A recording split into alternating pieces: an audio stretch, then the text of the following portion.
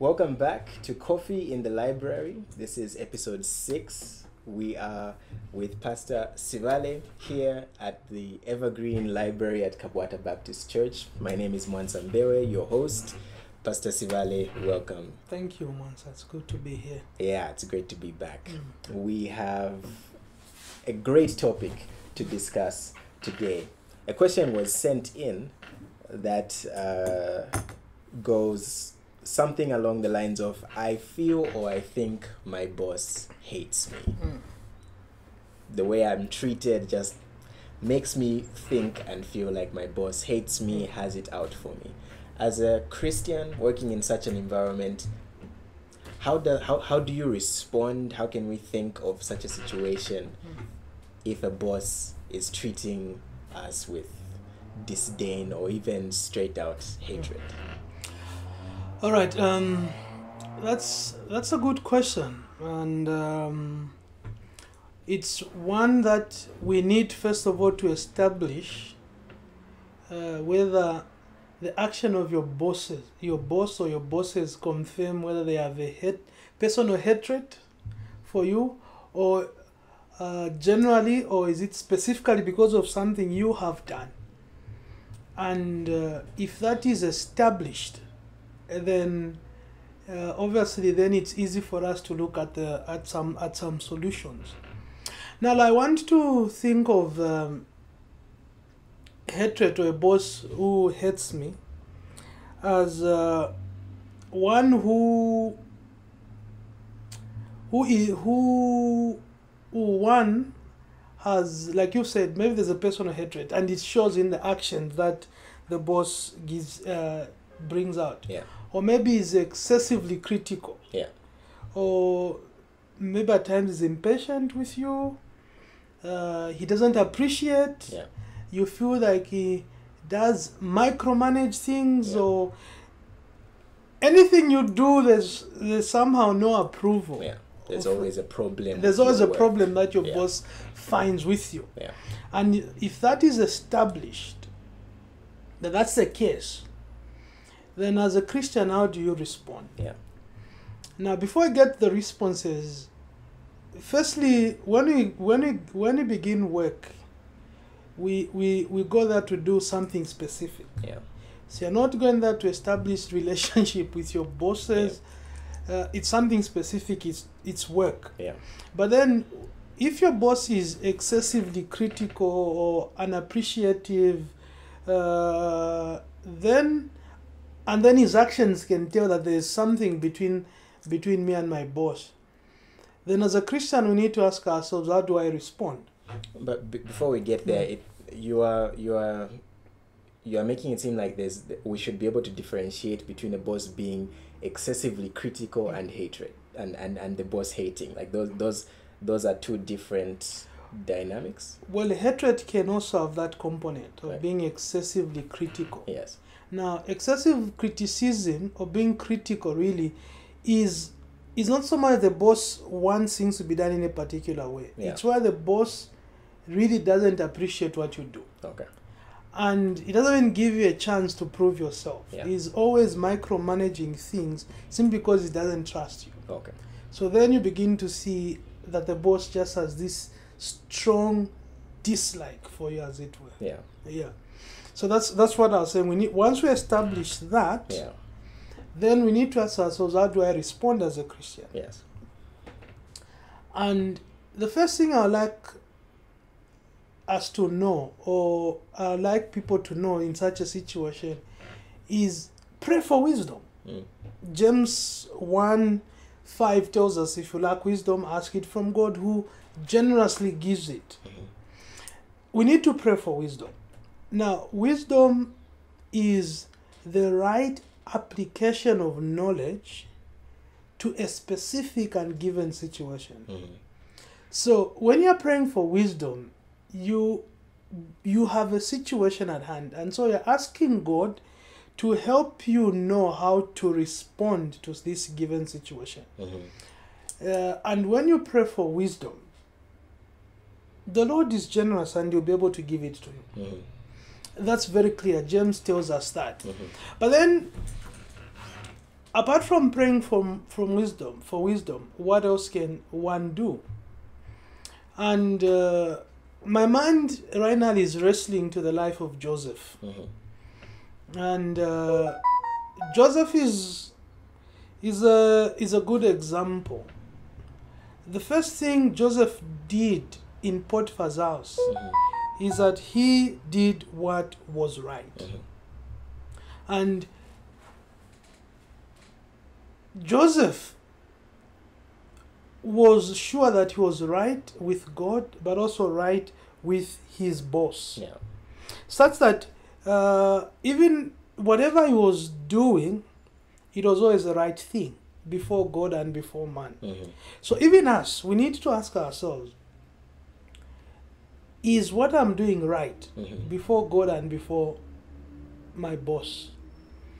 Am I doing something that is honorable in the sight of God? Could you give like a practical, uh, a, a practical example of that? Are you thinking along the lines of uh, maybe am I keeping time uh, Yeah, at work? Yeah, yeah, definitely. For instance, Yeah. am I am I am I am I keeping time? Yeah. Am I hardworking? Am I delivering on time? Yeah. When I've been given something to do, am I delivering? Am I producing the needed results or the desired results? Yeah. Am I the kind of person that, when asked to do even extra tasks, I'm not always tying those duties to whether I'm getting paid or not? Mhm. So when I say doing what was right, I'm basically saying, can you can someone look at your work and say, yeah, with the the responsibilities that you have here, Mhm. this is what we expect you to do. Mhm. Or am I the person that is always late Mhm. and wants to leave early? Mhm. Is always the person that wants to leave early for lunch and come late. Mhm. Then there, the, there, There's a there will be problem, there's yeah, a problem. definitely, definitely. But we see that that wasn't the case with Joseph. Yeah. But also see that Joseph submitted to authority. Yeah. And First Peter chapter 2 verse 18 and 19 tells us that slaves must submit to their masters. Mm. Now, a- as Christians, we need to submit to authority. Yeah. Now, we need to be clear there is a difference between obedience Mhm. and submission. Mhm. Now, obedience is simply complying or following a command or an order. Yeah. But submission, the actual Greek rendering of the word submission is to arrange under. Okay. Now, submission requires, involves the will. Mhm. Yeah. So, when we're talking of submitting to authority, it requires your will or your faculty to, th- to reason through Mhm. and therefore submit to a higher authority. Now, the word submit is has a military tone to it. Mhm. Now, a junior in the military is required to arrange under Yeah. when someone superior is there. Yeah. Now, Joseph submitted to authority. Yeah. Now, you see that he was hardworking in Potiphar's house. Mhm. But you notice in Genesis 39, when Potiphar's wife tries to advance us to advance herself to Joseph, Mhm. Joseph disobeyed and did not submit to what she was doing. yeah, yes. to that authority, Yeah. because that wasn't right. Yeah. So even us now, when, when we talk of submission, it's there is what is expected that needs to be done, Yeah.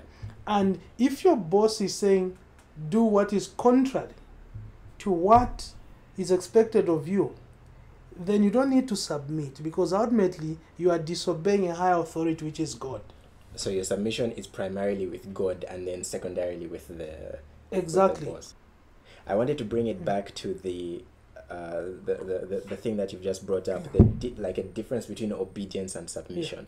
So would would this be an accurate rendering of Mm. it that obedience is like a parent gives gives an a, a parent tells a tells a child wash the dishes. Yeah. and and the child goes to wash the Yeah. dishes Th- that would be obedience and that the, the orders Yeah, been because you're, given yeah, you're being com- you're complying to an order. Yeah, whereas submission will be a, a the the adjustment of the will of the child Mhm. so that uh, the the the requirement of the parent is met even even even without the order being given. So exactly. it's so given the first time, wash the yes, dishes, and all of a sudden the child says, "I think I, my parents would want me to wash dishes every day, and so let me." exactly. So Yeah. the parent would have told you. Then you learn to know why should I do the dishes. I see. Yeah. Bec- one because it is pleasing Yeah. to your parents, but ultimately to God, yeah. and because your parents are the higher authority. Yeah. So you are submitting. Yeah. So you find that in the child responding to the parent, Yeah. You are doing two things: obedience and submission. Yes. But submission requires the will. Yeah. Yeah. So, so submission is literally what you said. It's, Yeah. it's bringing bringing your will under, Under. and, Yes. and and carrying it out. Yes. Not like a robot, but like no, a, no, no. A, a human being made in the glory Uh-huh. of God. Yes. It's even that's why even when the Bible talks about the wife submitting Yeah. to the husband in a home, yeah. it's where now in a home there are two wheels now. There's there's a will of the wife and the will of the husband, Yeah. and those two wheels crash. Yes. Then the wife said, "Look, I'm not blindly Following. following, Yeah. but I'm required in this case to to arrange under. Yes. So therefore, I'll let things be. Yeah. Yeah. So we should think of our employers, uh, uh, our employers in, in a similar fashion. Yes, because Yeah. those that, that's your immediate authority Yeah. at work. Yeah. But ultimately, it's God. Yeah. So, even in the case of Joseph, you know, Joseph obeyed, but did not give in to the will of Potiphar's wife. Yes. Because at that point, it wasn't just you know, complying with an order, Yeah. it's something that required him to accept and be involved, Yes. and therefore Yeah. doing exactly that. So, even when we think of work, Yeah. that's uh, that's that's a thing. So unless your boss is telling you to do that which ultimately is disobedient to God, Yeah. then you can clearly say no and then live with the consequences. Yeah. And we see also in the case of Joseph. Yeah. But also Joseph did not only submit to authority, Joseph took initiative in his work. Mm. And uh, I- I'm imagining because we're told in Potiphar's house there were other slaves. Yeah. But Joseph stands out. Yeah. There was a lot of initiative Yeah. from Joseph's part.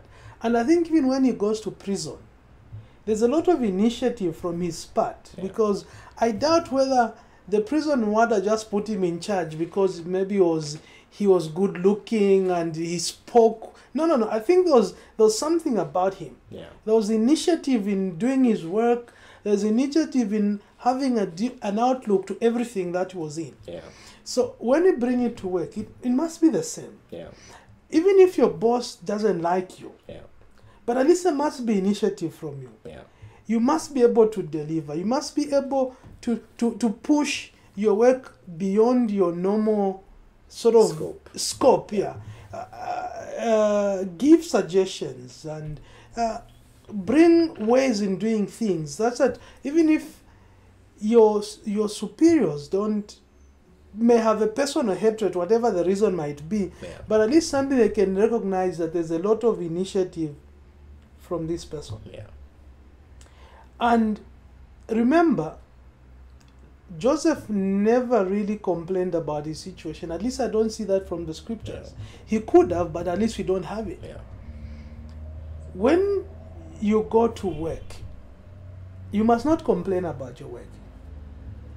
That's very hard. Yeah, you That's- must. No, you must not. very hard. No, yeah. you must not. Yeah, it Yeah. is, but you must not complain. Yeah. If you have to, at least let not be within the four walls of, Of your work, yeah. workplace, your workplace, or your, your within the reach of your boss. Yeah. Do what your boss requires you to do. Yeah. Because remember, when you work, in most cases, I think in most companies, they'll give, they'll outline what you need to do, Yeah. but then sometimes I would say maybe extra work will be given to you as the boss demands or Yes. sees sees fit. Yes. So never complain about your work. You you're bringing you're bringing a lot of information Yeah. very fast, but if I can try to process it a bit, you if thinking of initiative Okay. in yeah. terms of in, in, in terms of the work that should be done and, and everything you've spoken about it Mm. it's almost as though the your immediate authority not not authority Mm.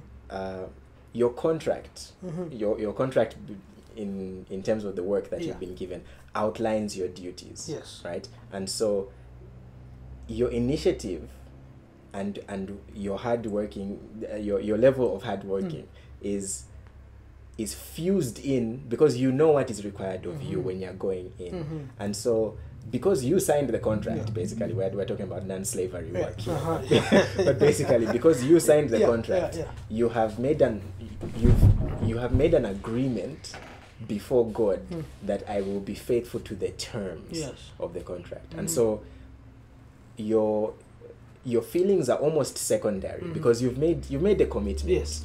to that and and if if you're not faithful to those terms then you're you're making your feeling you're putting your feelings over the contract and commitment that you Mhm. are that You've, you've you've signed to. You've agreed to. so th- th- that am, am i making yes sense because because when when you were interviewed and given the job Yeah. this, this is a job description. Yeah. this is what they expect you to do. Yeah. You looked at them hopefully yeah. and signed yeah. and say okay from 8 to 17, yeah. uh, this is what i'll do. Yeah. If it means me skipping lunch to do this i'll do this. Yeah. So so the issue of what i feel yeah doesn't come in at that point because you've agreed. Yeah. If there's any time you should have brought in your feelings was before pending your signature. yeah Yeah. yeah So when we talk about initiative, yeah it's initiative within what you've agreed, yes but also going above. above and Yeah. beyond yes Because yeah. if, for instance, if you know that if I went beyond what I'm required to do, and legitimately so, it will bring in more income or clientele. yeah What's wrong with doing that? yeah So you see, the most of us want to simply do the barest minimum. yeah If we're going to do extra work, we, must be paid for Yeah. it.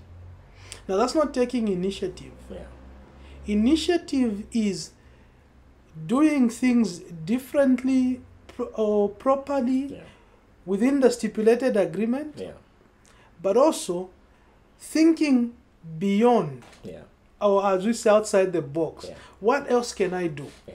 So that at the end of the day yeah. we maximize on the the, the, the goals or the vision of this firm yes.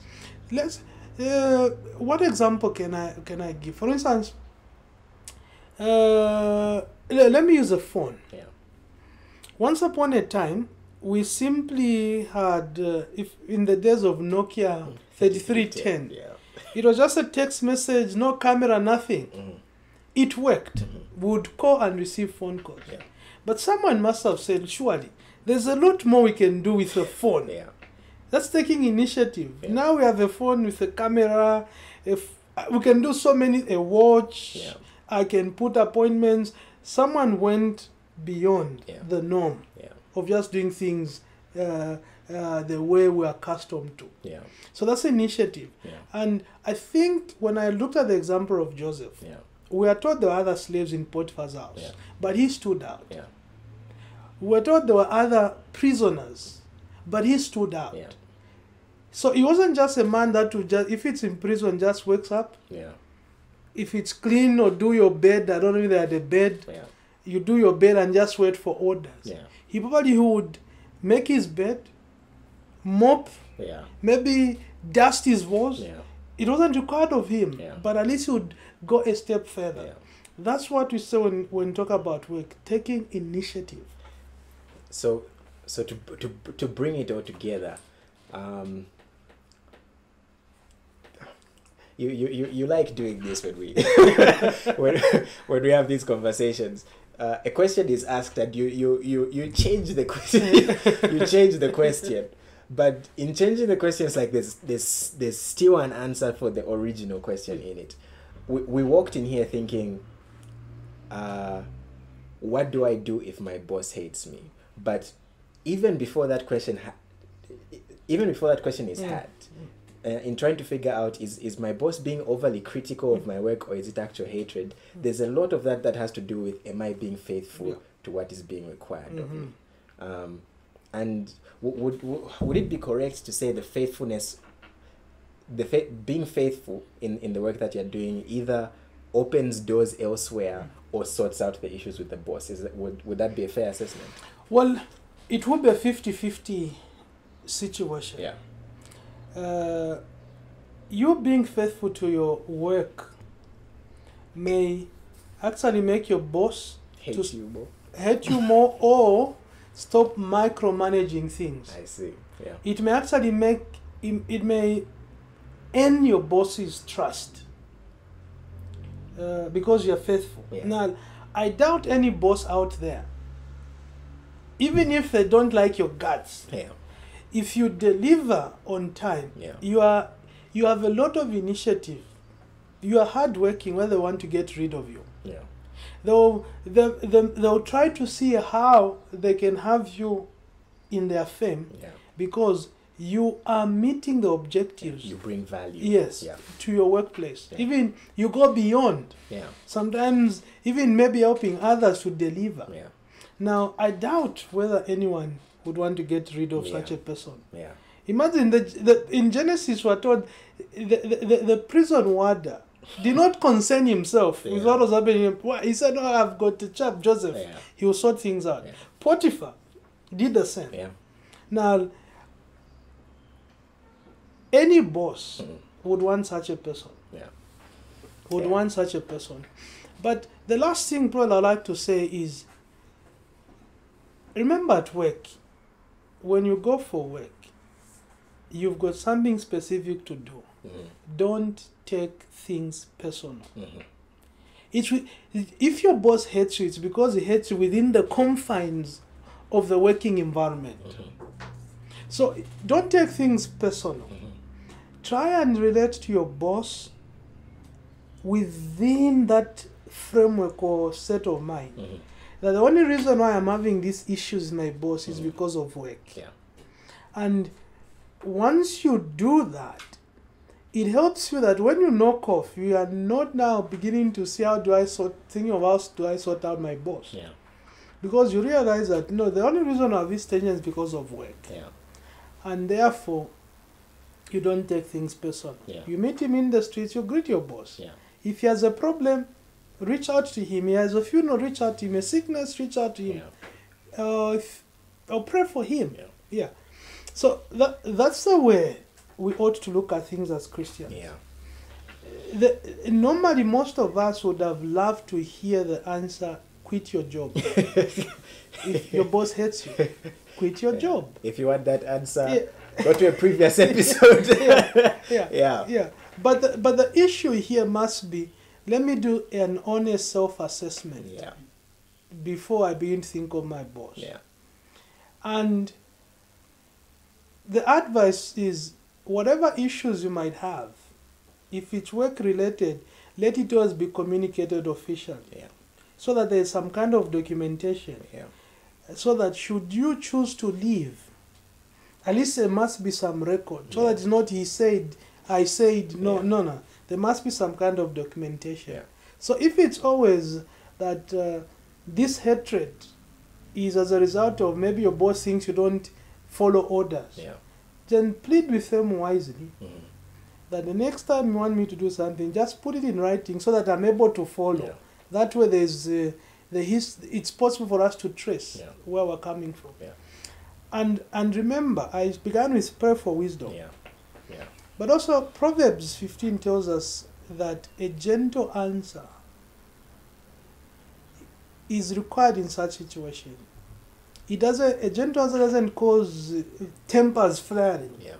So if you realize that you have your boss is upset, that's not the time to talk. Yeah. Listen, Yeah.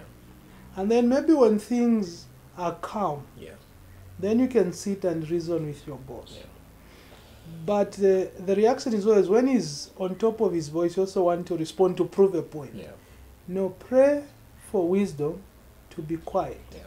And then know when to take it up with your boss. Yeah. Yeah.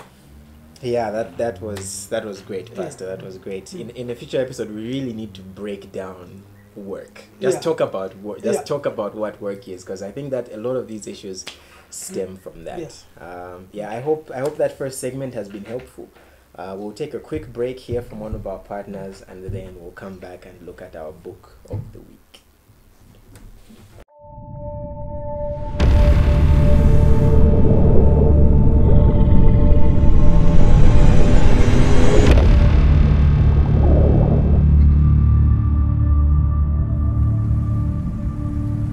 I love being on land.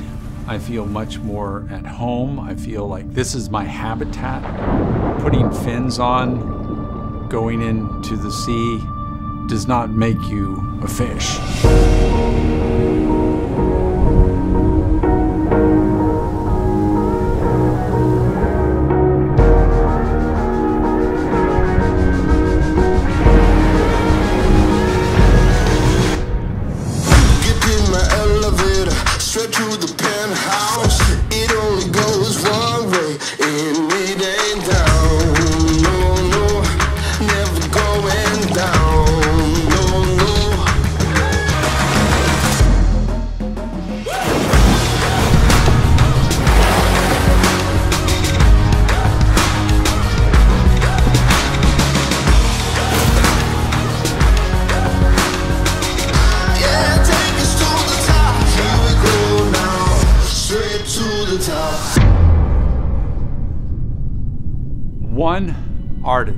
Invented water. He invented every liquid habitat and ecosystem that has ever existed. And he fills every inch with life, with death, and perpetual renewal. I'm Gordon Wilson, and this is Riot and the Dance Water.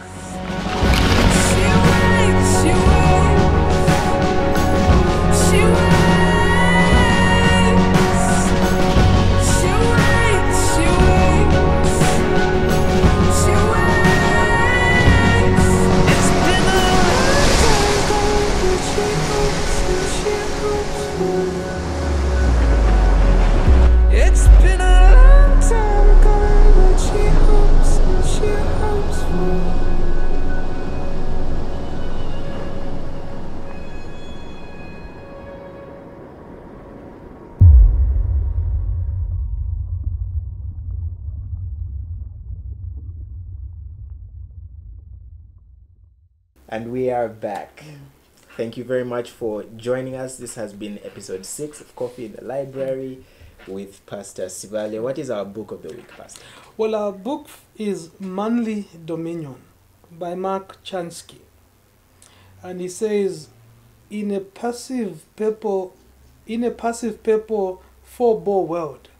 Now, what this book is really about is about men, Christian men, taking leadership and initiative in any so in, in any given situation.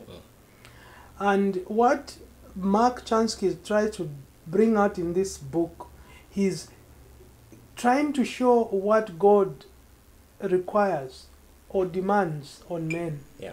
And he gives different examples uh, uh, in life, and he more n- narrows down now to the scriptures. And he begins with Genesis 1, where he shows God creates Adam, puts Adam in a garden, and God gives Adam commands on what to do with the garden. Now, what Mark is really trying to show us is that men must not be passive, mm-hmm. they must be active mm-hmm. and do something about any given situation. They must show leadership. This there's also a component where it talks about work. Mm-hmm. How that men must be hardworking. Men must find what work to do in order to provide not only for themselves but for the family and the people around. Hmm. Now, this book is one that I highly recommend for any man out there to read, hmm. and more so for Christian men. Hmm. The first time I read this book was in somewhere around 207, and uh, the first copy I had got lost because I was giving every every Christian man. So probably it's still making its way around the world. It one day to Make re- its way make back. its way back to me. Yeah. This particular copy I have, you can see it was bought by my wife on our second anniversary. Mm. I talked a lot about this book.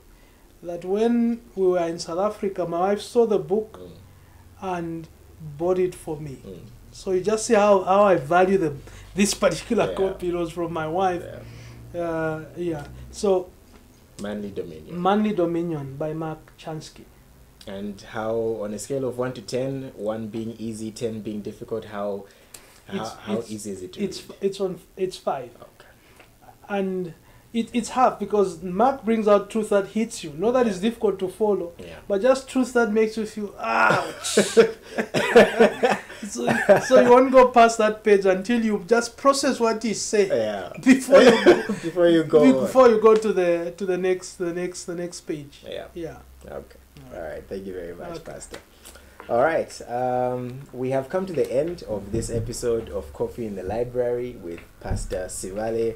I hope you have benefited. I hope you've been blessed by uh, what we have spoken about. If you want to send questions in, once again, get in touch with us through the social media platforms that are in the description, wherever you are finding this.